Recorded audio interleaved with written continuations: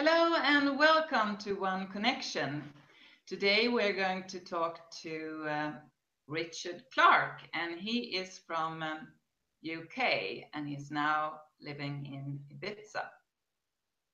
Welcome, Richard. Hi, how are you today?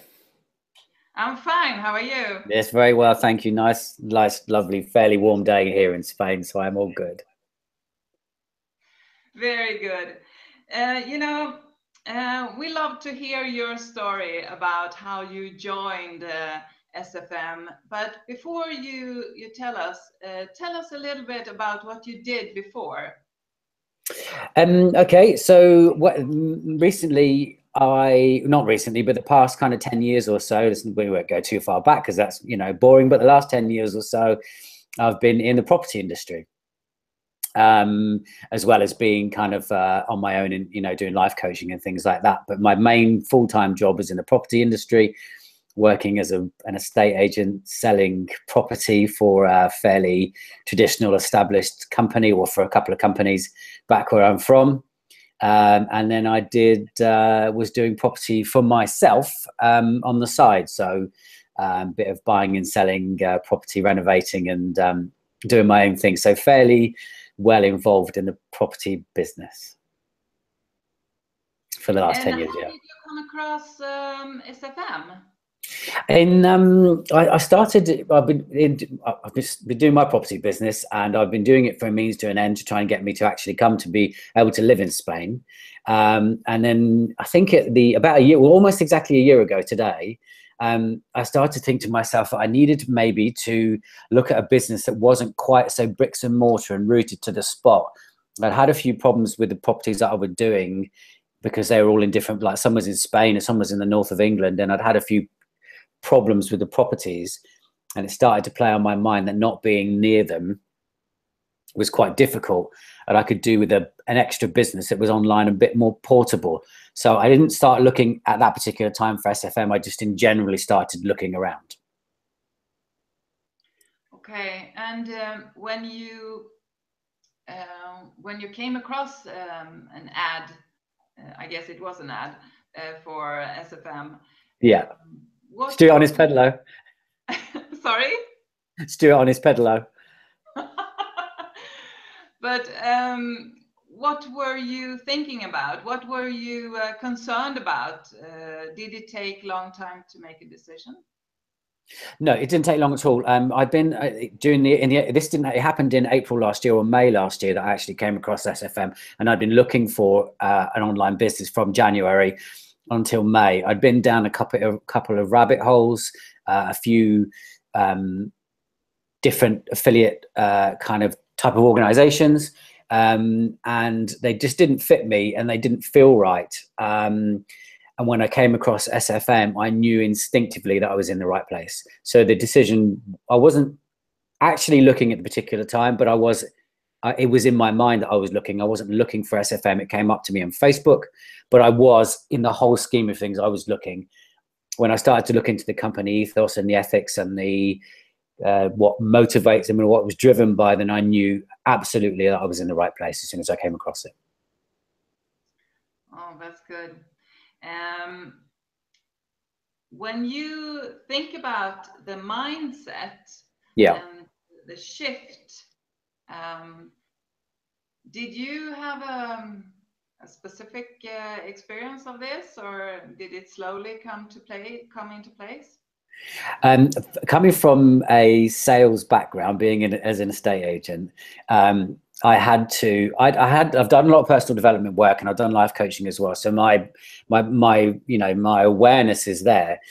But I had to switch that because I imagine I would go online and be selling, and I had to switch that that mindset that you're value you're, you're driving the value and you're providing upfront value for what you want as opposed to just going in and getting a quick sale out of people and driving them forward and making it, you know, and making it an experience was a mind shift I had to take on board quite quickly. Um, but I love it. I love it. I love the fact that the ethos is ethos is driving is providing value as opposed to trying to uh, mug people for money out of their pockets. Mm. Uh, you just mentioned now that um, you are a life coach. Um, mm -hmm. is that something that you are going to combine with SFM as an affiliate or, well, tell us a little bit about your plans. Um, I, I really, I had life coach before. I qualified for a while, and now I realise now because I've been really focusing on getting my uh, business off the ground and getting the structure ready. Because I'm quite a, quite, a, I'm got quite a lot, a lot of that in place now. I've, my thinking has come back around to I'm, I'm really passionate about people developing themselves, really passionate about people opening their mind, really passionate about people driving themselves forward. And uh, people just need the tools, you know, they've got it inside them. It's all there. I often think to myself, if I ask you this question, is there a sleeping giant with inside you? So many people would say, yes, there is, and they just don't bring it out. And I think that's very recently I've decided I'm going to combine that, bring my life coaching up, use my skills I've learned on the uh, SFM, do some affiliate work, but use my digital skills now to bring my life coaching out and in, in you know to the fore for me as well. Well, sounds exciting. um, um, let's talk about um, a blog post I know that you wrote a while ago about goals. Yeah. Um, tell tell us about the blog post and your experience about that. The the fact that I'm living here, we mentioned before, I now live here in Ibiza. That was that was the kind of thing that was driving me through the property business. Like I, I wanted to build up my property business so I could come and live here because I've always felt at here that it's a part of me here. So that was a goal of mine because I will feel more complete when I'm in Ibiza, as in my environment. So that's what always drove me forward then what actually happened was the the SFM came along and I realized I could have an online business and the property business kind of I've left behind now because I realized I can have my work from my laptop. Um, so that was a big goal of mine, but I had a massive realization not um, long after I arrived here because I was excited about being here, but then I, I wasn't as excited as I thought I should be. And I realized that actually it was because my goal was just not big enough. And it was a massive um, realization moment that uh, my goal was A, quite self serving, it was serving me.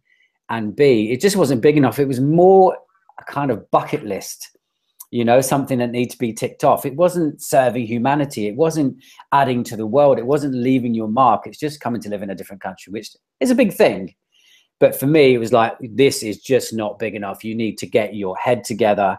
What's your real goal? And then as soon as I let that go, my mind went and my mission then became to come and bring drink clean drinking water to millions of people in the world that don't have it. And then when I got that massive goal, I felt so much more comfortable with it. The other little ones down the line that I haven't achieved seem kind of insignificant because I've got this huge goal now. And now I feel like I'm playing on a big stage. Wow, that is inspiring.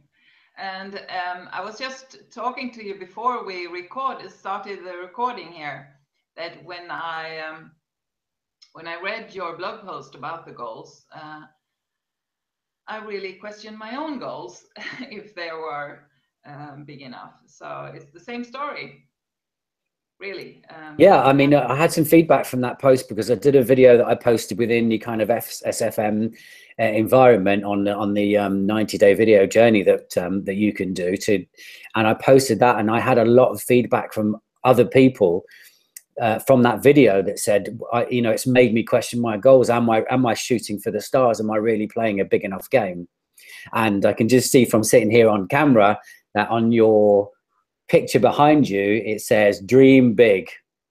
And that really is, you know, you, you really got to go for it when you're thinking about your goals. And if you don't hit them, you might hit a little lower, but unless you, you know, unless you dream big, you're not going to get, you're not going to get there. I, I think you should just, just dream as big as you can. Yeah.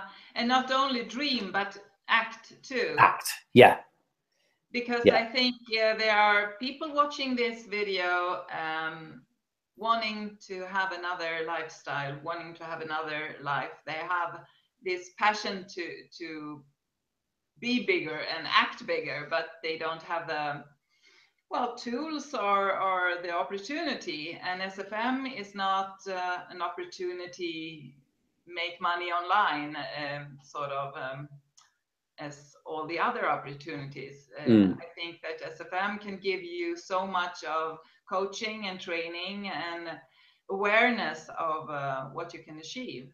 Mm. Don't you agree? Um, no, I do agree, and I totally. There's there's one that there's one bridge for me. There's always a bridge, and that is you can have all the thoughts in here, and you know in your mind whatever you want, whether it's goals or what you want to do next week or even today or tomorrow, and then you can have the result of what you want to do over here. And there's one little bit in the middle that I can only make that happen, and that's action.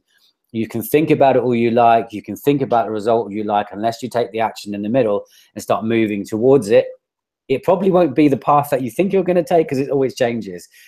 But unless you take the first step, nothing's going to happen. Okay. Um, if you would uh, say anything to a new member or someone trying to make a decision to join, what would that be? Um, if if you're even thinking about it being in the space, then you join um, you just join and you see what happens and you take that action and you take that step and you move forward. And if you decide it's not for you then that's okay. But for me if i can use my coming to uh, ibiza as an example when i was back at home working in my job the thought the fear of doing it was one thing. The fear of not doing it and regretting it for the rest of my life was far too great. And i would say that to a new member coming in, you just until if you've got a little bit of fear, that's good because you're stepping outside your comfort zone. If you spend the rest of your life not taking that little step forward for something that has the potential to change your life, then then then you should be more fearful of that. Yeah, great closing thoughts. Uh, and I would like to add that if you like to try it out, you can try SFM for 30 days for free. Yeah, I wanted to. I, do, I mean, that it was was in my mind then. You know, these days, I think when I joined, it was a you know it was a small fee, and then and then the rest is history. And I was very comfortable with that. However, these days it's accessible for free for 30 days to come in and have a look around for a large amount of, of the back office and the dashboard and and the and the system. And um, like I said, for me, it was a no brainer. For a lot of people, they want to dip their toe in the water. Now you can dip it in for free. It's it's what's why wouldn't you do it? exactly. Why would? okay. Thank you so much, Richard. No problem. Nice to talk to you. Okay. And I'd like to say to everyone watching, uh, if you like to visit uh, Richard's uh, website, you can see it on um, on the blog post down below. And uh, thank you so much for the interview. No problem. My pleasure. Bye. Bye.